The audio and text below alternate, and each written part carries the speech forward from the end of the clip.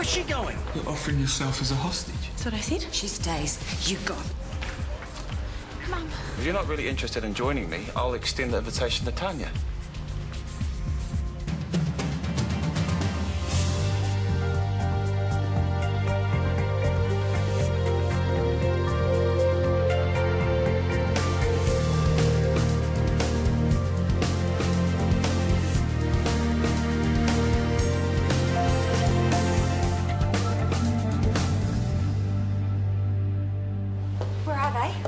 They're fine. Did you know that they had a gun and a grenade? What? The druggies, yeah. Gerald, just tell me where they are.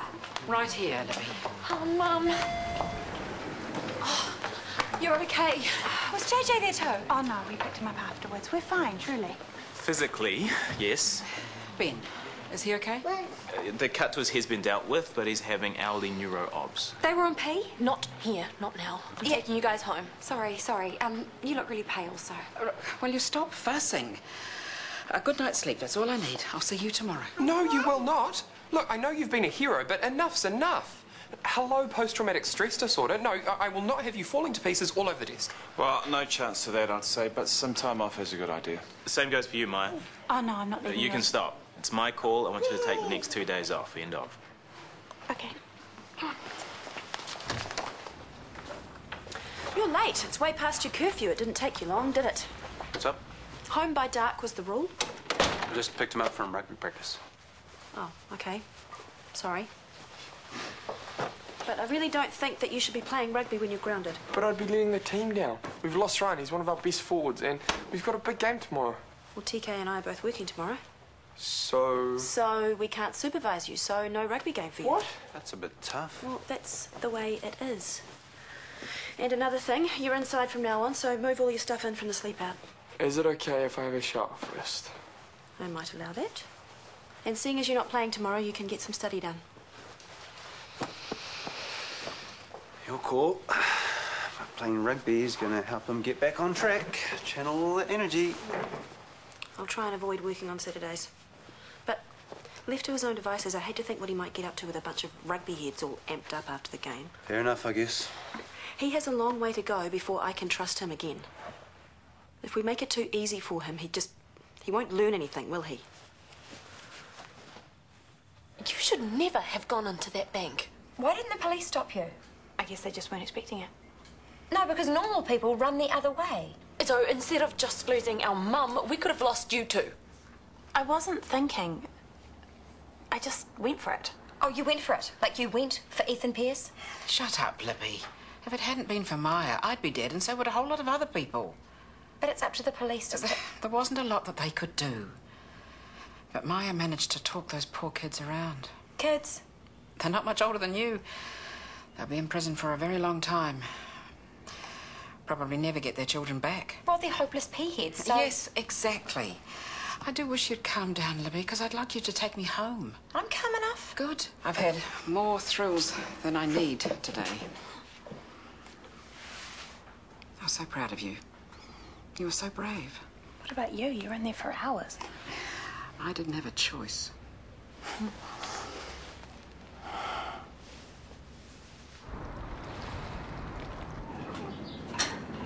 Ready to take off? Hang on, I'll get the door for you. Take it easy, yeah? So, high jinks at the bank, eh? Hijinks. Poor old Yvonne nearly got herself blown up. A dud grenade, eh? What a couple of dopey bankrupters they turned out to be. What about Mad Maya? Oi! What? Running in on a couple of pea-heads on the rampage is hardly the action of the same woman. No, but a hell of a gutsy one. Uh, shoulder dislocation, cubicle three. Hey, how goes the heroes? Up and at it. I'm thinking about going away for a couple of days. Oh, so you be by your lonesome. Well. Hmm. Tonight's taken care of. Oh, damn, I thought we were going to catch up. IV, seven-ish. I'll see you there. Hey, Joyce. Hey, Tans. Cubicle three. Shoulder that needs relocating. I think he may have suffered long enough. Hey, sweet. I don't think he is. After the midazolam I gave him? Did I forget to tell you?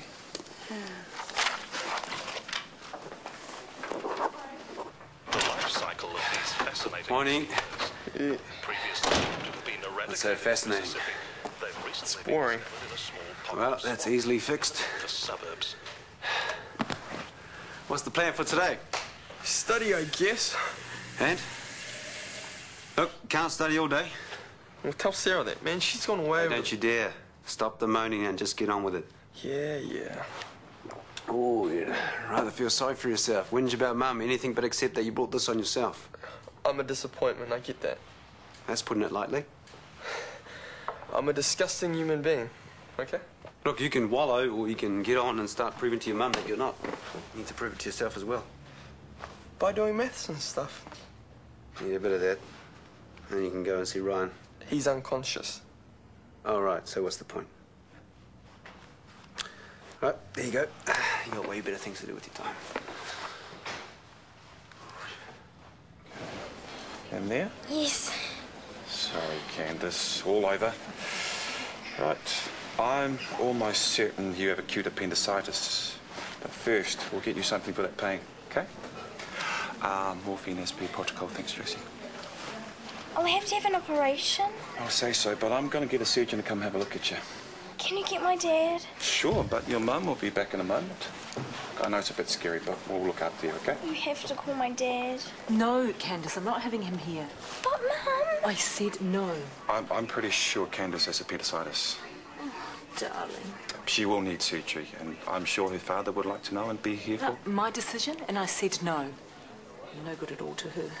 It's okay, darling. You'll be fine.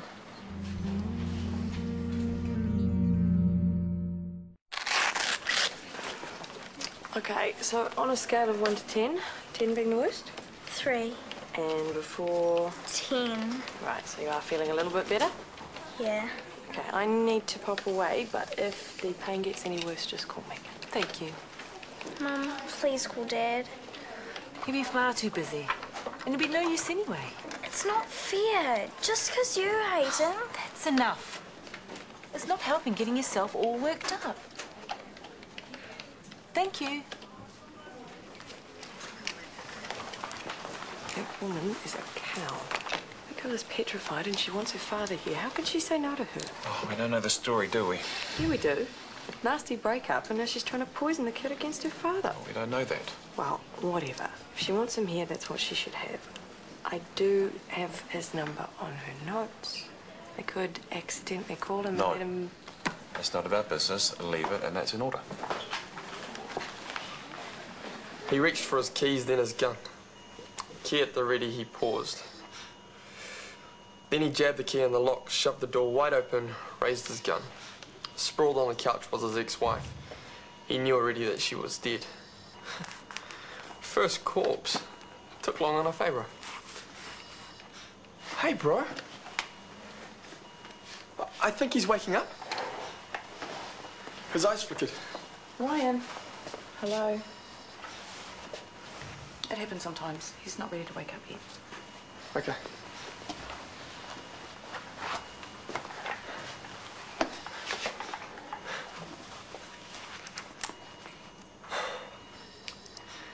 When did you last see your wife? Ex-wife. Christmas Eve 1997. And no, I didn't kill her. D.I. Shelby didn't look like he believed him for a second. Maybe you've had enough for today flagging it due to lack of interest. Oh, it's just like every other thriller you've read. But maybe it'll get better. You can tell me to stop at any time. Shelby was overweight. He looked to be in his early 50s, but probably years younger. You won't mind taking some time off school, will you? Yes. Oh, really? So why do I have so much trouble getting you up and off in the mornings? Oh, Candace, it's all right. The surgeon said it's a very straightforward operation. There's absolutely nothing I that can... want Dad. Oh, for goodness sake, Candace. Grow up. Do you think he'd actually bother to come? No, he wouldn't. He doesn't give a damn about either of us. We're history, thank goodness. And the sooner you get that into your Mrs. head, the better. Excuse me? Outside, please. What's this about? You've got no right to talk to me. Look, your daughter is very sick and very frightened, all right? And I'm not going to listen to you talk to her like that. I talk to her any way I like. Look, whatever went on between you and Candace's father, you do not take it out on her. All right, she needs love and support. Now, her father couldn't possibly do a worse job than you. You should be ashamed of yourself. Hey, this won't be doing Candace a lot of good either.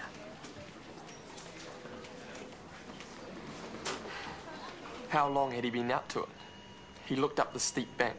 He wasn't feeling any pain, so maybe he hadn't broken anything. He started to push himself up. So far, so good. Taking his time, he slowly got to his feet. By some miracle, he'd plummeted a good hundred meters, but survived unscathed.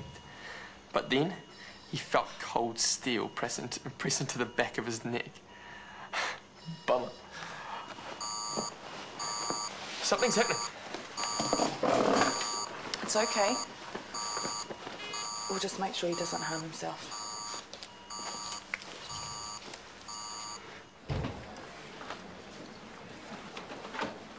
What was that about? Like you said, she's a cow. I had to stop her. By ripping into her at volume. It's a side to you I've not seen before and never expected to. Look, she had no right to keep the father in the dark about the surgery. There's always a chance that something might go wrong. He should be there. Look, I agree with you, but you went way over the top. You lost it. Just for a moment, I'll apologise. I think it might take more than that. It's perhaps best that you stay clear for now. I don't want you getting fired up again. There's no chance. Still, it is probably best you pack it in for today, yeah? Get over yourself. Is there a personal side to this? Look, it just so happens that I don't like it when a kid who's in pain and facing surgery is given a hard time by her mother. All right?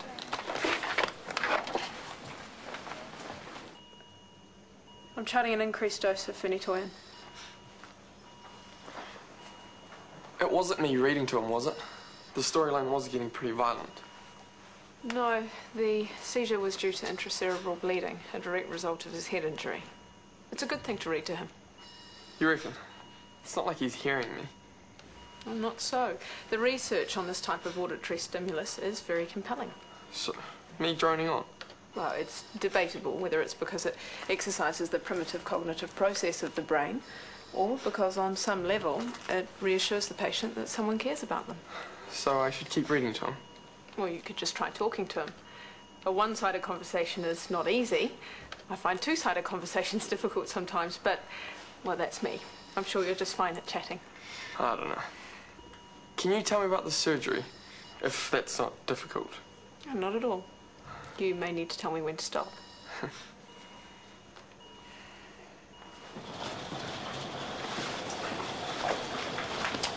Hey there. You all sick? Yeah, You're going to be okay, you know. I hope so. Now, is it all right if I come see you after? Yeah, If your mum doesn't mind. I'm sorry again about before. it's okay. Except she still won't call my dad. So, uh, any requests for when I call by? I don't know, ice cream, uh, pizza, sack. What's his name? Um, Ice block. I, um, I better let you go. I'll see you very soon, okay? Okay. That was good of him. Lucky old you. He's only the dishiest doc in the building.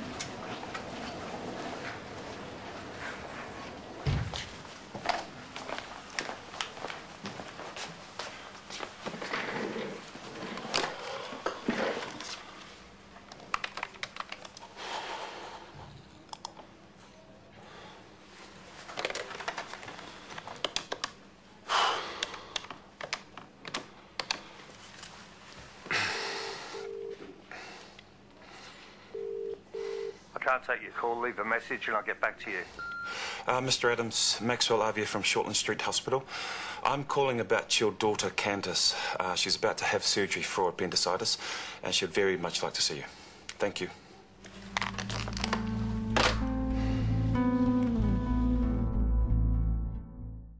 Thank you very much. So, we have a new owner to break in. Nope, no such luck, I'm afraid.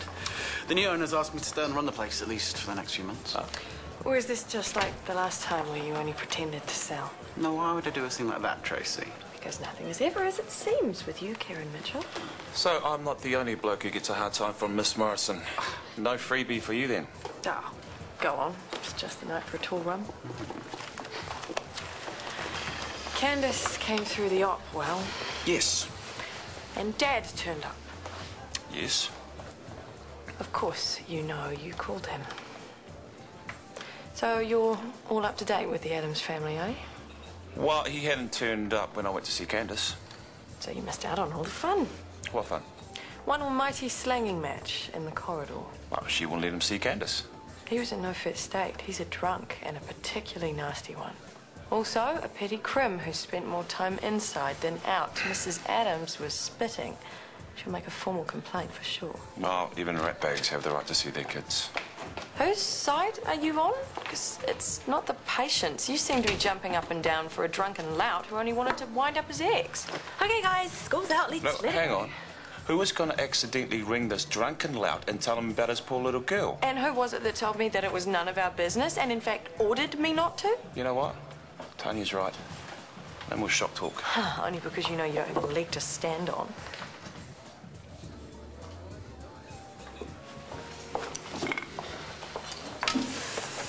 Give up. Could I have been any clearer about his curfew? He's home by the time it's dark. It's well past that now. Well past the time he was meant to be meeting us here, and you are late as well. Did you uh, check if he's still with Ryan? As if he would have lasted an hour tops. He'll be off who knows where doing God knows what. I give him chance after chance, and he blows it every time. He might as well just go home, because there's no way that Well, he'll looks even... like he has been with Ryan all this time. Get real. But the brain is both so intricate and flexible that patients are able to regain or relearn functions and skills. It's been cool, but my mum's waiting for me. Thanks, Dr. Jacobs. You're welcome. You are so late. I've had it with you. It doesn't matter what I say. You just go Hey, I own way. just lost track of time. You lost track of time. And I thought that you might have got it into your head that you need to do exactly what is asked of you. A simple thing like turn up when you're supposed to, but even that is too much to ask. Where have you been? With Ryan? All this time. Yeah. You're a great ED nurse. It's where you should be. Oh, I think I'm getting to be a pretty good theatre nurse. I'm learning a lot. Scalpel, please. Mop my brow. You're a dog's body. Mm, we're so not an ED. Uh, so bitter, so discontented. I don't know how you can carry on in this job. I will be asking for a transfer if your tenties become a regular thing. I'd still like to know the full story, though. What was it about that case that so pushed your buttons? It was her face. Mouth like a cat's bum. And women with almighty chips on their shoulder really bring out the worst in me. I think I'll transfer. Leave you two to fight this out. No, no, no, no, it's okay. Subject close. Uh, more drinks, yes? Not for me. Three's a crowd. Sorry. I'll knock this back and I'll be on my way. Okay. I'm not even going to ask what that row was about. When are you two not at each other's throats? You enjoy it so much. Bollocks. One more time. The only reason we row is because he's a complete jerk. A jerk that I am not attracted to. And if you had seen him rip into a patient's mother, you wouldn't be attracted to him either. You are so very welcome to him. Enjoy your night.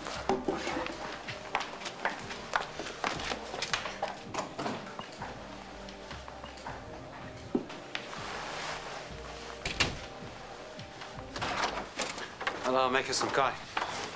Do you need a hand? I'll uh, see what we'll got first, mate.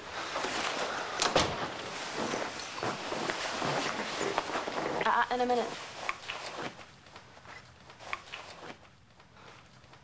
I want to believe you, Dan. I just hope you understand that it's not that easy. Did you really spend that whole time with Ryan? Yeah. Well, most of us would have taken a break, gone and done something else for a while.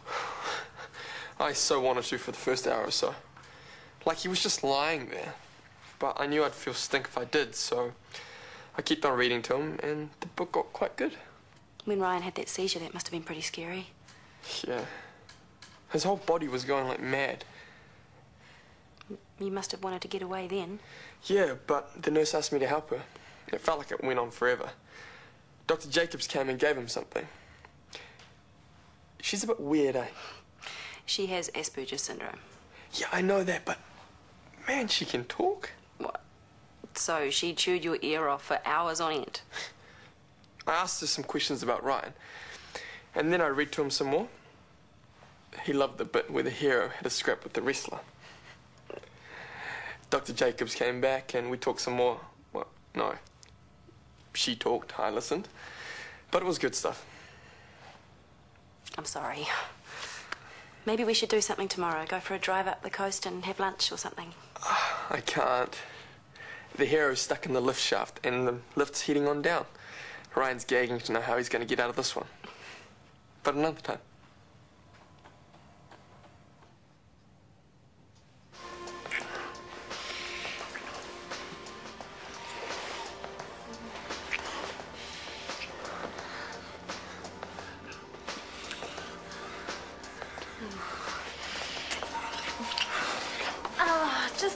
Just one thing. What? You and Tracy. What about her? All the aggro between you two. Oh, well, she's a stroppy thing. For sure, but you can't resist having a go right back at her, can you? What, and I should let her get away with it? No, it's tonight, for instance. You, you spent most of it sniping at each other. We, we, we had a bit of a rocky day. yeah, I felt a bit spare. Well, we don't want that now, do we? We, you know what they say about people who are always fighting with each other? What, they either can't stand each other or they really like each other. Which is it with you and Tracy? I take it you want me to be honest here? Yes, please. Then I'll have to say the latter. You like each other? Except it's not mutual. Or so she says. What? I called her on it, uh, told her that her hostility is uh, thinly disguised lust, and she shot me down. So you like her? Well, I do, but no go. What am I? Runner up? Well, I wouldn't put it that way. I mean, there's no contact. I know because she's not interested, but. Well, so she says. Well, look, I sounded her out and she didn't want to know, and that's that. And I did, so it's all on. Hey, I, I'm, I'm trying to be totally honest here, okay? That's what you wanted. Yes, and thank you. Tracy's right, you are an absolute jerk. I'll tell you something I'm not. A consolation prize. He's an arrogant jerk who thinks he can treat women like garbage. What a player. Treat 'em mean. Women, eh? I don't know why they've got their knickers in a twist. Keep 'em keen. He's pretty arrogant, yeah, right? Then some. Do you still like him. Shortland Street, 7 o'clock tomorrow, TV2.